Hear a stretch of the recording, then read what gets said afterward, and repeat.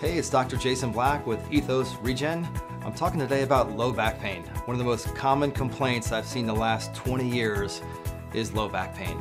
Low back pain that starts right in the middle, maybe it shoots to your hip, down your leg, maybe even calling weakness, numbness. Very common complaint. I have a lot of success with fixing back pain and fixing it permanently so you can get back to life, enjoying your life with your kids. Maybe it's your grandkids. Maybe there's a vacation that you've been putting off because your back's been hurting. Give my office a call. Let's find out the cause of your back pain and offer you some solutions so you can get your life back.